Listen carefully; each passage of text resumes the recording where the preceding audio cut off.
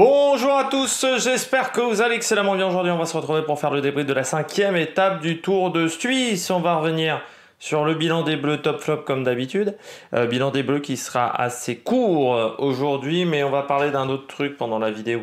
Donc, euh, vous inquiétez pas, on arrivera à faire 30 minutes. Hein. Euh, top flop, aujourd'hui, c'est passé pas mal de choses. Étape qui a été fantastique, parcours qui était euh, très alléchant, et l'étape a été très intéressante.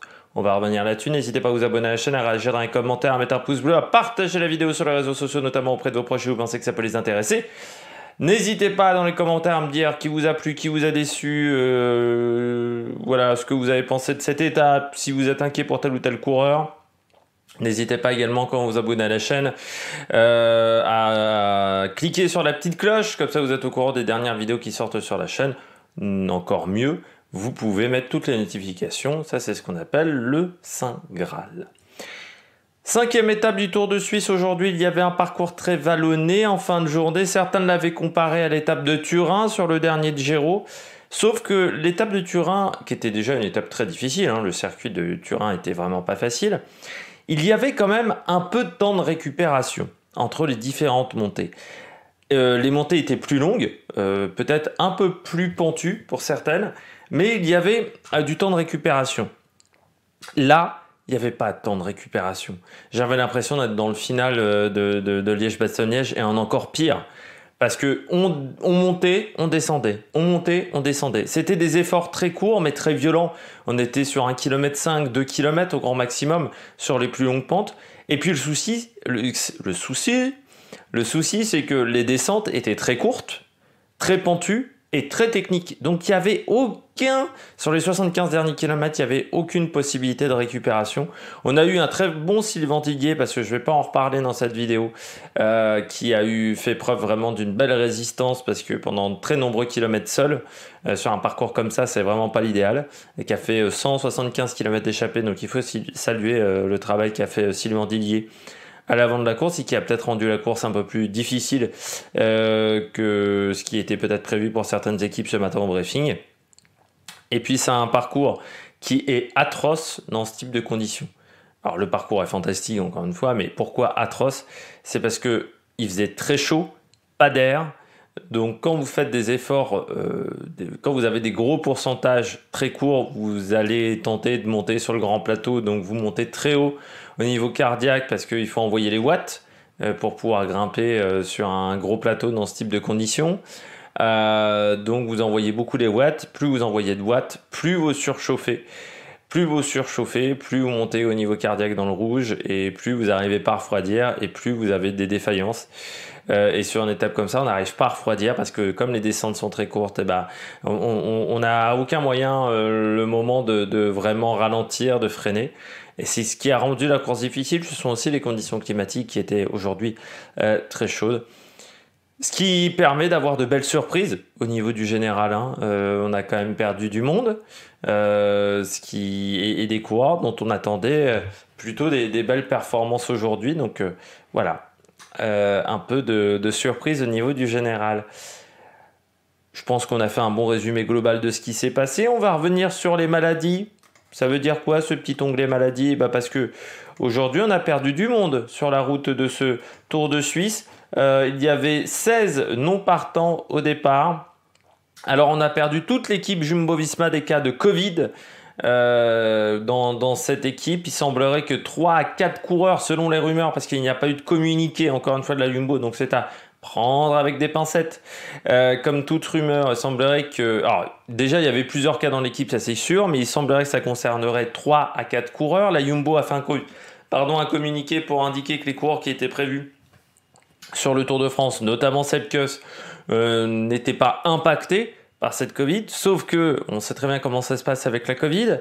Euh, parfois, vous avez des symptômes que vous ne découvrez que très tardivement.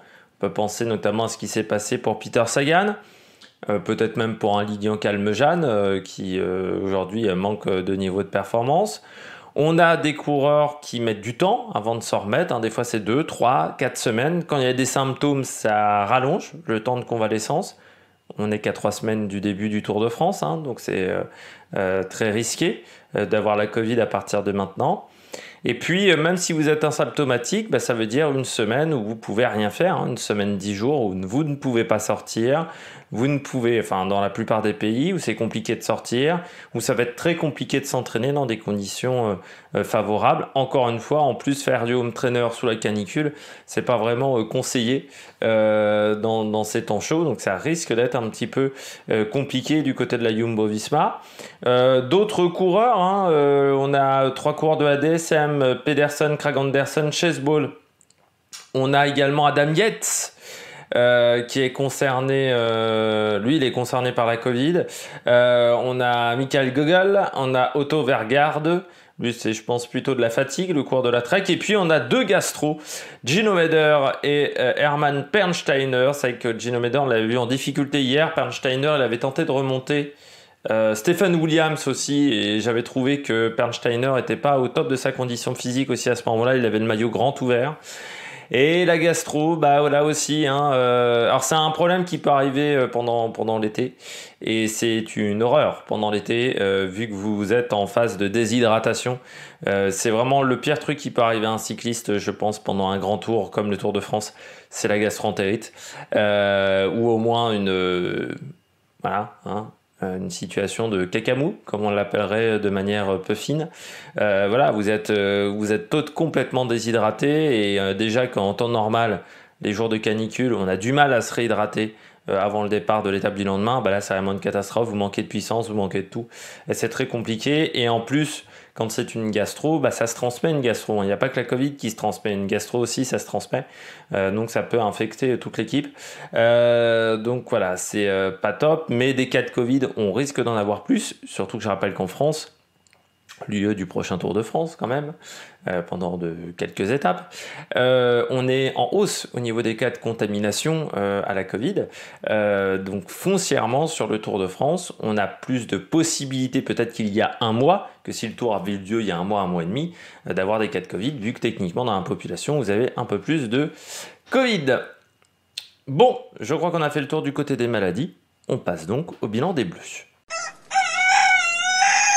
Par contre, euh, j'ai oublié de le signaler du côté des maladies, pas de coureur euh, français ou du côté des Bleus, euh, pas de coureur atteint. au moins, il y aura une bonne nouvelle dans cette chose-là, parce qu'encore une fois, la Covid, c'est pas l'idéal. On commence du côté des Bleus avec Stephen Kung. Il s'en sort bien, Stephen Kung. Il s'en sort bien. C'est sixième de l'étape. Stephen Kung, c'était plutôt mal embarqué euh, en début de journée. Euh, enfin, en début de journée, euh, quand ça a accéléré, à un moment, je me suis dit Ah, ça va peut-être être compliqué pour Stephen Kung parce qu'on le voyait un petit peu en, difficulté, pas forcément aux, avant-postes, mais il s'est accroché, le coureur suisse, et puis il a quand même progressé hein, dans les, dans les coups de puncher. on s'en était aperçu notamment l'année dernière sur le Tour de la communauté de Valence où il avait vraiment très très bien résisté. Euh, mais là, il a été aussi très bon, notamment euh, sur les classiques belges, à travers les Flandres, le Tour des Flandres, euh, le, Grand Prix E3 aussi. pas mauvais non plus du côté de l'étape de Nice cette année. Donc il a vraiment progressé sur ces étapes, je dirais, aux alentours de 2000, 2500, 2800 mètres de dénivelé positif. Euh, où c'est pas encore de la haute montagne. Et là, il est vraiment très bon. Et Stephen Kung, vu son classement au niveau du général, où il est cinquième, c'est un coureur qui est encore totalement en possibilité de faire top 15, euh, voire mieux sur ce Tour de Suisse. Euh, et on se souvient notamment de Rohan Denis. Rohan Denis, il avait fait top 5, je crois, hein, sur ce type de sur ce, parcours du Tour de Suisse. Alors certes, il y avait, je crois, deux contre la montre l'année où il avait fait un, bon classement, mais il faut se méfier quand même de Stephen Kung parce que vu ses qualités en chrono, euh, lui, il peut reprendre du temps, il peut reprendre des positions lors de la dernière étape. Donc c'est un coureur qui va être très très très dangereux euh, sur la fin de, ce Tour de Suisse. Euh, alors il va devoir s'accrocher encore sur les deux étapes de montagne, mais demain, j'ai envie de dire qu'on n'arrive pas au sommet, qu'on n'arrive pas, pardon, si on arrive au sommet, mais euh, qu'on est peut-être sur des pentes où ça peut encore passer, ça sera peut-être plus compliqué du côté de Vaduz, euh, du côté du Liechtenstein, parce que ça sera pas Vaduz, euh, samedi. mais dimanche, c'est un contre-la-montre qui correspond totalement à ses qualités, où il devrait être performant. Donc ça peut être vraiment une course. Il peut faire vraiment un très très bon résultat. Stephen Kung est intéressant avant le Tour de France, bien entendu, pour épauler Godu et Thibaut Pinot. Autre cours qui a été performant aujourd'hui, c'est Reichenbach du côté de la Groupama. Euh, qui est lui aussi toujours bien classé, 43 secondes 9e, Sébastien Reichenbach, et aujourd'hui il ne perd que 9 secondes sur une type de montée, euh, un type de montée pardon, qui n'est pas forcément sa spécialité euh, au coureur suisse. très bon boulot de la part de Reichenbach, qui est un coureur qui a une particularité, Reichenbach, c'est qu'il a fait deux premières années en continental chaque classe, puis 2012 il est euh, chez les amateurs et il est revenu en 2013, 2013 pardon, chez Yam. Euh, où il avait fait euh, trois saisons dans l'équipe suisse avant de rejoindre la FDJ en, 2016 et depuis la FDJ 33 ans Stefan Kung et aujourd'hui très bon coureur le Suisse qui vraiment fait toujours des, très bons résultats et là sur ce Tour de Suisse il est capable de faire un bon résultat je rappelle aussi c'est un coureur qui est en fin de contrat Stefan Kung euh, donc voilà, il a peut-être aussi envie de se montrer euh, sur ce Tour de Suisse. Euh, Stephen King, Sébastien Reichenbach, pardon, qui est en fin de contrat. là, j'ai fait un gros lapsus, je me suis bien mélangé les pinceaux. Pinot, lui, finit 27ème de l'étape à 1,49. Bon, euh, c'est le Thibaut Pinot depuis ses débuts de ce Tour de Suisse. Euh, voilà, on le voit peu aux avant-postes, mais il est quand même là jusque euh, dans les deux dernières difficultés du jour. Ensuite, bon, il, craque. Est-ce qu'il a craqué? Est-ce qu'il a voulu plutôt conserver de l'énergie pour les deux étapes de montagne? Encore une fois, du côté de Thibaut Pinot, c'est dur de savoir.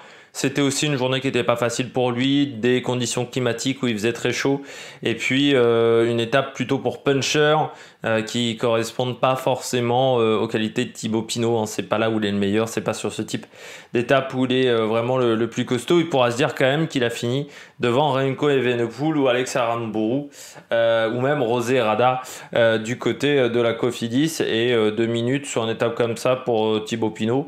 moi encore une fois, je, ne m'inquiète pas euh, pour le coureur euh, français. Je pense qu'il est plutôt euh, dans les, temps de passage. Plutôt des temps de passage intéressants voilà pour le Tour de France. Je pense que enfin moi je m'inquiète pas. Peut-être que dans 3 4 semaines je vous dirai ah ben, j'aurais dû m'inquiéter parce qu'il sera complètement hors de forme pas du tout performant sur le Tour de France. Mais euh, moi je suis pas hyper inquiet pour le moment autour de, de Thibaut Pinot. C'est peut-être une erreur de ma part.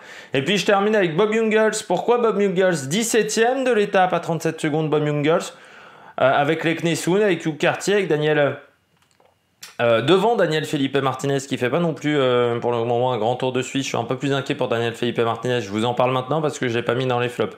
Euh, mais du côté de, Bob Jungels, 37 secondes avec Thomas Pitcock, c'est plutôt bien pour le Luxembourgeois. qui, bon, c'est vrai, est un petit peu en difficulté, hein, mais qui est 15e du général. C'est un coureur, hein, euh, Bob Jungels, qui euh, bon, euh, se cherche. Hein, ça fait depuis quelques temps quand même qu'il se cherche. Alors il est prévu sur le prochain Tour de France.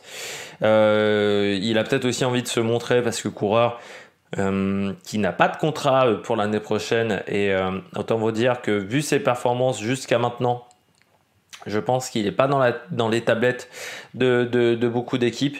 voilà, un Bob Jungels qui, on espère, on va le retrouver, le, le Bob Jungels de 2019. Euh, de 2018 qui euh, surtout qui arrivait à être, performant euh, à la fois sur les grands tours, à la fois sur les classiques. Mais si on arrivait à avoir au moins un Bob Ingles performant sur l'une ou l'autre de ce type de course, eh bien on serait complètement satisfait puisque les dernières, à part sur Paris Tour où il avait été à l'attaque et on, l'avait vu plusieurs fois, c'est vrai que depuis deux ans, voilà, on, on l'a vu peu performant. Après, c'est un coureur qui a eu des soucis notamment du côté de l'artère iliaque. Donc on sait que c'est toujours un problème assez compliqué euh, à résoudre. Eh bien, on a fini du côté du bilan des Bleus. On passe tout de suite aux coureurs au top. Attaque de Marlou Les coureurs au top et je commence avec le meilleur. Euh, Alexandre Vlasov, euh, vainqueur aujourd'hui, leader désormais du général Vlasov. L'homme dont on n'a plus le droit de citer la nationalité. Euh, Vlasov qui euh, bah voilà finit en tête hein, euh, il fait vraiment une très belle journée encore une fois on a vu la, force collective de la Bora, Charman, Großschartner, Igita, ils sont encore, je pense, trois à être très très bien classés au niveau du général. Hein. Igita est sixième, Großschartner est huitième, Charman est onze voilà, ils sont 4 dans le top 12. C'est phénoménal. Hein. ils ont un tiers euh, du, top 12. Et puis avec un, Charman euh, vraiment euh, performant aussi aujourd'hui qui a fait du bon boulot pour bien emmener Vlasov. Et encore une fois, un gros travail collectif autour du, du russe. mais surtout, on, Vlasov, moi, sur ce type d'arrivée-là, c'est un coureur qui était déjà performant il y a deux ou trois ans. Hein. Encore une fois, c'est un coureur qui était déjà performant sur ce type d'arrivée en puncher. Euh, je trouve, moi, là où il a progressé, c'est dans sa gestion de l'effort. Il était déjà bon sur ce type d'arrivée avant. Hein. Vlasov, c'est toujours un coureur qui a eu des qualités de, puncher. Puis je rappelle juste que cette année, il a fait euh, troisième de la flèche wallonne en haut du mur de 8, euh, qu'il avait également été très bon sur le tour de la communauté de Valence, sur l'étape qui arrivait sur du gravier, c'était l'étape 3. Donc voilà, c'est un coureur qui euh, s'est raté.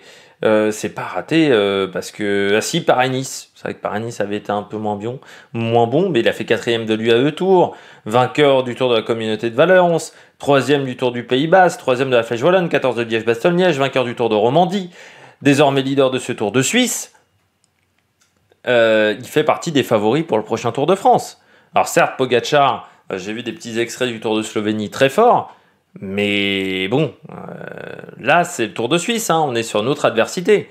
Euh, il, est, costaud, et puis la Bora, au niveau force collective, bah, sur le prochain Tour de France, c'est une équipe sur, euh, laquelle il faudra compter. Parce que foncièrement, cette formation a les, moyens d'être performante, a les moyens de, de, de, vraiment amener un leader à remporter le général. Et c'est une équipe qui est en plus en pleine confiance, c'est une équipe qui est très performante. On l'a vu, ils ont déjà remporté un grand tour avec Janeley. Euh, on a bien vu également que les recrues s'adaptent très bien à cette équipe, que ça soit Vlasov, que ça soit euh, Inlay. Je dirais même Sam Bennett, ça va euh, un peu mieux, mais même si son début de saison n'était pas fifou, c'était pas catastrophique non plus. Euh, donc voilà, ça, ça, va très fort du côté des, recrues de, la Bora. Euh, c'est une équipe qui, euh, en ce moment, s'en sort très très bien. Parce que c'est vrai que les transferts, ils n'en avaient pas beaucoup hein, du côté des, transferts, du côté de la, la Bora en 2000, enfin voilà, qui, qui, ont rejoint cette équipe.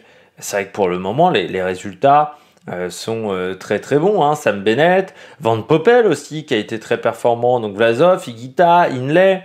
Euh, bon, Archbold et Mark Waller qui était également dans le final, je crois, aussi aujourd'hui, Mark Waller. et puis Wichtebrook, qui est pas un mauvais coureur. Donc voilà, ça se passe plutôt très bien quand même du côté des, des coureurs qui ont été transférés de la Bora. Donc ça va être intéressant de voir ce que ça peut euh, donner euh, dans les, dans les jours à venir, parce que là, on va attaquer quand même la haute montagne. Guerin Thomas, euh, c'est pas un, un, style de course, un style d'étape qui lui correspond extrêmement bien. Les étapes pour puncher, surtout qu'aujourd'hui Guerin Thomas est quand même euh, plus très jeune, hein, 36 ans, qu'il a peut-être plus non plus les, les, jambes, enfin les qualités de puissance qu'il avait lors de ses jeunes années, hein, du côté de, euh, de la Sky, notamment euh, sur le Tour 2010, 2011, où il avait été très bon. Euh, mais aujourd'hui, Guerin Thomas, ça va de, mieux en mieux. Surtout, Guerin Thomas, bah, il faut toujours faire attention à lui. Je rappelle l'année dernière, Petit Bayou, pardon, excusez-moi, il fait euh, plutôt une saison intéressante jusqu'au Tour de France, hein, vainqueur du Tour de Romandie, troisième du, du Critérium du Dauphiné, troisième du Tour de Catalogne. Euh, voilà, ça avait été plutôt une saison intéressante.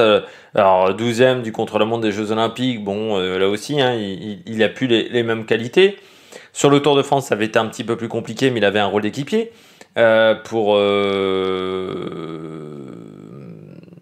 pour Carapaz. Mais euh, c'est vrai qu'en ce moment, je trouve que Garen Thomas, ça fait depuis deux ans qu'il a vraiment retrouvé des bonnes jambes. Et là, sur son année 2022, euh, bah, il fait quand même, euh, en termes de résultats, quatrième du prologue du Tour de Romandie. Et sur le Tour de Romandie, on l'avait un peu vu, il avait fait un, gros rôle d'équipier. Et là, sur ce Tour de Suisse, je trouve aussi que ça se passe plutôt très bien. En plus, avec Adam Yates qui, qui a dû abandonner, avec un Daniel Felipe Martinez qui n'est pas au top, c'est un coureur sur lequel il va falloir compter. Alors certes, faut qu'il prenne du temps d'avance par rapport à Vlasov sur le contre-la-montre, parce que Vlasov a, un avantage, je pense, sur Gahan Thomas dans cet exercice. Mais euh, bon, la Suisse lui a toujours euh, plutôt bien réussi ces dernières années, donc euh, il faudra faire attention au coureur, coureur britannique qui est toujours très dangereux dans ce, type de course d'une semaine. Hein. C'est peut-être là où, il est le, le plus fort. Et puis je termine avec Nelson Poles. Très bon coureur, Nelson Poles qui a vraiment franchi un cap l'année dernière, hein, avec sa victoire notamment euh, sur la classique à San Sébastien, mais c'est un coureur qui a vraiment franchi un cap en, début de saison dernière. Et euh, désormais, c'est un coureur qui est très euh, performant, capable de prendre des échappées, mais là aujourd'hui, il a vraiment cru en ses chances. il a été bon aujourd'hui, le coureur américain. Ça échoue pour pas grand chose face à Vlasov. Il fait un peu de chemin sur son sprint, c'est vrai, Nelson Poles. Mais euh, quel très bon coureur. C'est un très bon coureur, euh, Nelson Poles. Et je regarde qu'une seule victoire dans sa carrière. Donc il a que la Classica San Sébastien. Mais les dernières, cinquième des championnats du monde, cinquième de l'UAE Tour, quatrième d'une étape sur le Tour de France en 2020, euh, deuxième d'une étape du Tour de Suisse cette année, donc aujourd'hui, deuxième d'une étape du Tour de Pologne. C'est quand même un coureur qui commence à avoir des, bons résultats et qui progresse qui progresse. Hein, c'est un coureur qui a mis du temps euh, avant d'avoir de la maturité. J'irais surtout de la maturité euh, un petit peu tactique. Euh, un coureur qui partait énormément dans des échappées publicitaires. Mais je trouve que Nelson Poles, vraiment, il a progressé l'année dernière. Il y a eu un, truc qui s'est passé pour Nelson Poles. Et ça va de, mieux en mieux. pour le, le, coureur américain. Et il a une sœur, Nelson Poles, qui s'appelle Shaina Poles, euh, qui euh, bon, n'a pas de très grands résultats, hein, 13e et 15e euh, des derniers championnats des États-Unis féminins en 2021. voilà, mais c'est une fille qui court énormément aux États-Unis. Elle a 28 ans, donc elle est plus vieille que lui. on poursuit tout de suite avec les bonnets d'âne. Premier bonnet d'âne du jour, Remco Evenepoel. Qui aurait cru que sur une étape comme ça, Remco Evenepoel craquerait? Peut-être la chaleur euh, pour Remco Evenepoel, mais pourtant je me souviens qu'il avait été bon sur un, tour de Burgos où il avait fait très chaud euh, lors de la reprise de la Covid, après la Covid, euh, que sur le tour de Lombardie quand il tombe et qu'il est dans le groupe de tête, il faisait pas froid non plus. au mois d'août, en Italie, euh, mais aujourd'hui, euh, il explose à 20 bornes de, plus de 20 bornes de l'arrivée, hein, la première fois où il pète. Ensuite, il revient dans le groupe de tête. Il réexplose quasiment euh, juste après.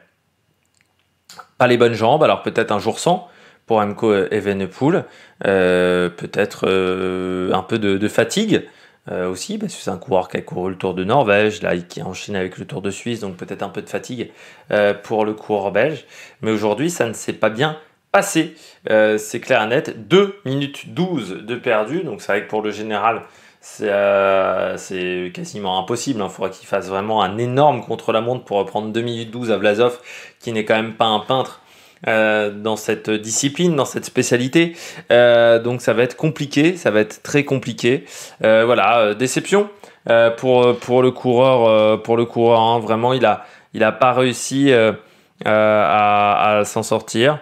Donc euh, voilà, déception pour euh, notre ami euh, qui voilà aurait dû réussir à, à faire mieux Remco Evenepoel. Voilà il n'a pas réussi à, à s'en sortir. Et ça c'est une c'est une déception pour moi euh, la performance de, Remco Evenepoel aujourd'hui 2 minutes 06 voilà il aurait dû être beaucoup mieux euh, et beaucoup plus proche des, avant-postes. Donc voilà grosse déception pour moi euh, pour Remco Evenepoel. Je m'attendais à mieux de la part du coureur belge. Je poursuis avec Marc Hirschi. Bah là aussi hein, du côté de Marc Hirschi une déception